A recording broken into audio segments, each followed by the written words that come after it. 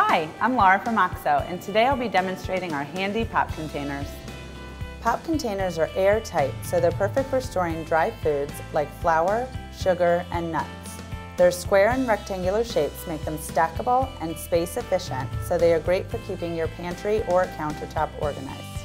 A simple press on the button creates an airtight seal with just one touch.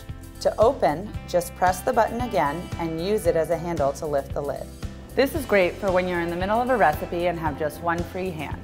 Larger pop containers have a wide lid, so you can get a measuring cup inside.